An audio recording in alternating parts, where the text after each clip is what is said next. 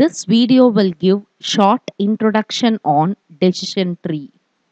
Decision tree is a popular technique in data mining. Decision tree represents decisions and decision making. Decision tree allows users to take a problem with multiple possible solutions and display it in a simple, easy to understandable format. Parts of decision tree. Root node. It is the topmost node in tree. It has no incoming edges. Internal node. Internal node denotes test on attribute. A node with outgoing edges is also referred as internal node or test node. Branch node.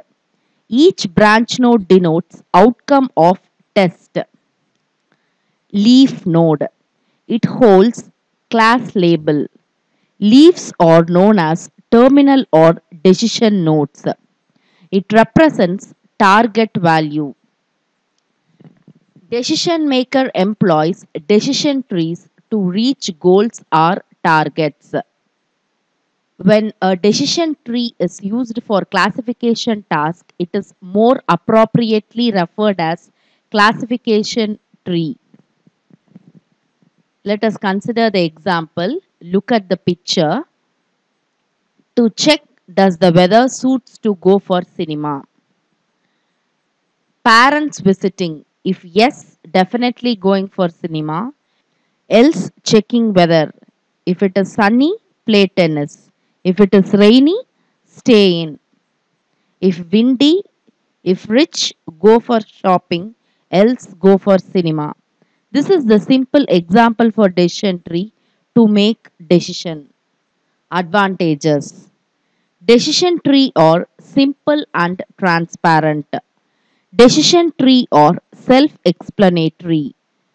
Decision trees are usually represented graphically as hierarchical structures, making them easier to interpret than other techniques. It requires little data preparation time, relatively fast compared to other classification model. Easy to convert it into classification rules which could be easy to understand. Able to handle both numerical and categorical data. Other techniques normally handles only one type of data at a time. Fields Data mining, text mining, information extraction, machine learning, pattern recognition or the fields where the decision tree is used.